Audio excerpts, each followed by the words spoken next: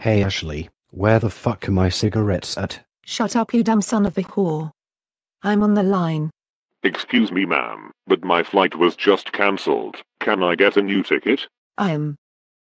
Can you walk? Oh yeah, because like I can walk from Detroit all the way to Frankfurt. Here, I'll try to get you a new flight.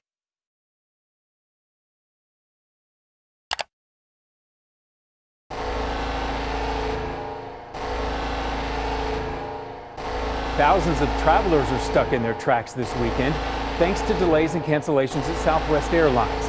The company is blaming much of the problems on the weather, but many passengers aren't buying it. Am I all set?